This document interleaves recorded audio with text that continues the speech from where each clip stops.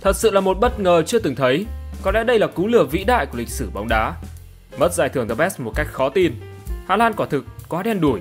Bảo sao, lễ trao giải diễn ra ngay tại London mà chưa sút người Na Uy cũng không đến tham dự. Cá nhân Messi cũng không tham dự vì chắc hẳn tiền đạo 36 tuổi người Argentina có nằm mơ cũng không nghĩ mình lại đoạt tiếp FIFA The Best 2023 để bảo vệ thành công giải thưởng mà anh đạt được cách đây một năm. Đông đảo người hâm mộ đều ngã ngửa khi thấy cái tên Lionel Messi được công bố giành chiến thắng giải FIFA The Best 2023. Bất chấp anh thua kém Erling Haaland về cả số danh hiệu tập thể lẫn thành tích cá nhân. Một số fan hâm mộ bóng đá quốc tế đã nhanh chóng bày tỏ sự tức giận về việc Haaland không giành được giải thưởng này trên Twitter. Lionel Messi à? Vậy là Erling Haaland đã bị cướp FIFA The Best. Thực sự khó hiểu. Tôi không nghĩ mình sẽ thích Messi nữa. Tôi không thấy lạ khi Messi được trao giải vì mọi người thích thế. Sự bất công tới tột cùng dành cho Haaland. Vậy siêu sao Argentina đã giành chiến thắng như thế nào mà lại gây ra nhiều tranh cãi đến như vậy? Hãy cùng yêu bóng đá Nam Go đi tìm hiểu ngay sau đây. Trước đó, quý vị khán giả đừng quên để lại một like, một subscribe và bật nút chuông thông báo để không bỏ lỡ những video hấp dẫn trên kênh nhé. Được biết, cầu thủ bóng đá xuất sắc nhất năm là danh hiệu hàng năm của FIFA dành cho nam và nữ cầu thủ bóng đá xuất sắc nhất thế giới do tất cả các huấn luyện viên trưởng và đội trưởng các đội tuyển bóng đá quốc gia, các nhà báo từ các liên đoàn và thành viên và các khán giả bình chọn. Tính trên mọi mặt trận, Messi đã cùng câu lạc bộ PSG vô địch giải League One. Đó là lần thứ hai anh giành được danh hiệu này tại Pháp. Messi cũng có tên trong đội hình tiêu biểu và đứng đầu danh sách vua kiến tạo tại giải đấu này. Chưa dừng lại, một bước mặt xảy ra khi Messi lựa chọn chuyển đến đầu quân cho đội bóng MLS Inter Miami vào tháng 7 năm 2023. Đến với giải đấu ít được quan tâm nhưng Messi vẫn được khán giả khu vực Bắc Mỹ chào đón cuồng nhiệt.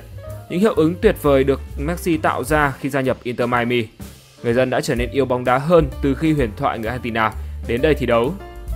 Đáp lại sự kỳ vọng đó, Messi đã đóng góp tới 11 bàn trong 13 trận cho Inter Miami mùa này.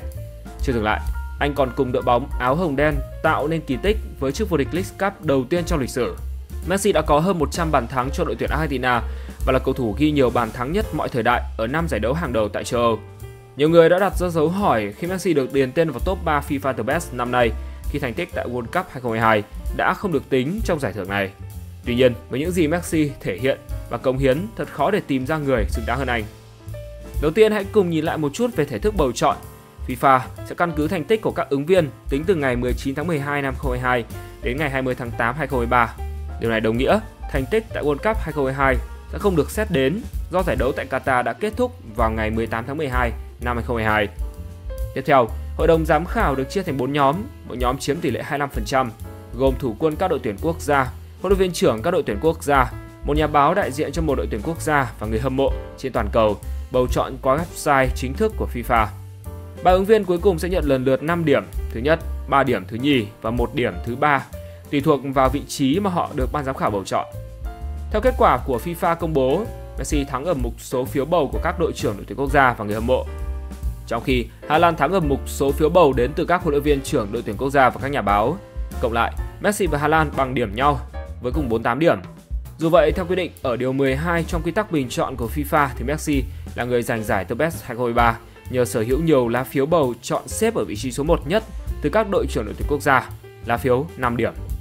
Cụ thể có 107 thủ quân các đội tuyển quốc gia bầu Messi đứng số 1 trong top 3 ứng viên, trong khi con số này của Hà Lan chỉ là 64, kém khá xa so với Lamburga. Điều đó cho thấy Messi được đội trưởng các đội tuyển quốc gia đánh giá rất cao so với những gì mà anh đã trình diễn trong năm 2013. Cá nhân Messi, thủ quân tuyển Argentina đã bầu Hà Lan đứng số 1.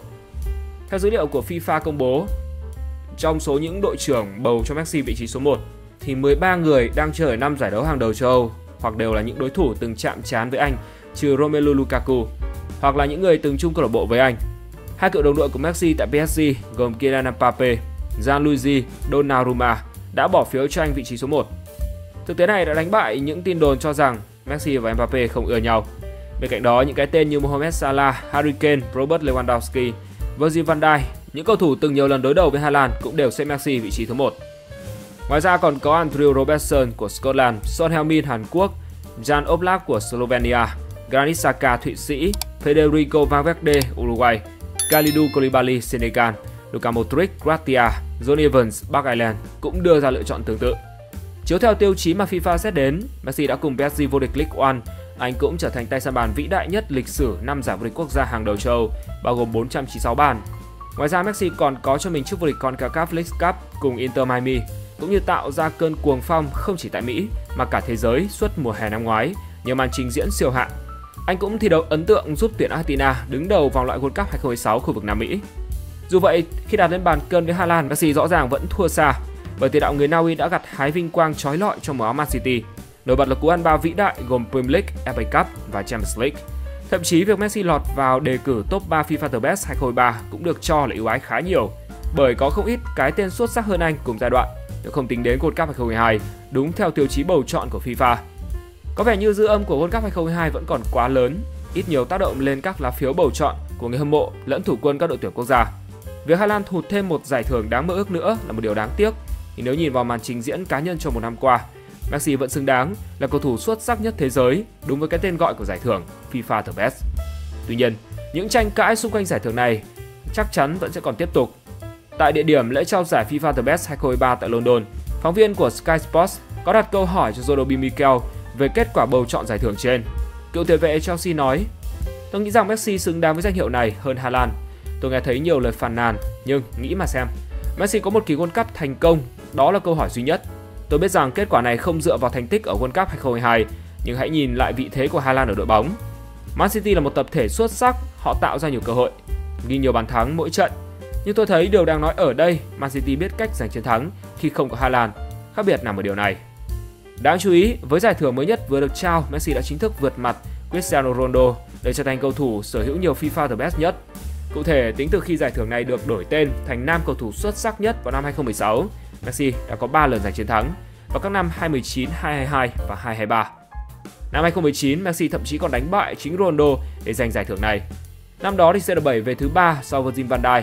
Còn về phần mình, tiền đạo người Bồ Đào Nha đã có hai lần được vinh danh tại lễ trao giải FIFA The Best ở năm 2016 và 2017. Ban đầu, giải thưởng nam cầu thủ xuất sắc nhất được gọi là FIFA World Player of the Year, cầu thủ xuất sắc nhất thế giới và được trao trong giai đoạn 1991 đến 2009.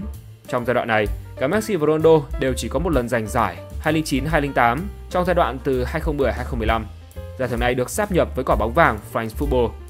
Từ năm 2016, FIFA World Player of the Year chấm dứt hợp tác với France Football và đổi thành The Best FIFA Men's Player cho đến nay.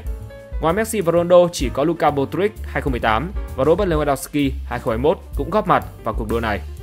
Thế mới thấy con quái vật nhỏ bé nhưng sở hữu nội tại FIFA Messi chắc chắn chưa muốn dừng lại. Anh đã được lịch sử lựa chọn để tạo nên những cột mốc lớn cho túc cầu giáo. Và sau tất cả, giải The Best một lần nữa thuộc về anh, thuộc về chủ nhân đích thực của nó, vị vua tối cao của làng túc cầu.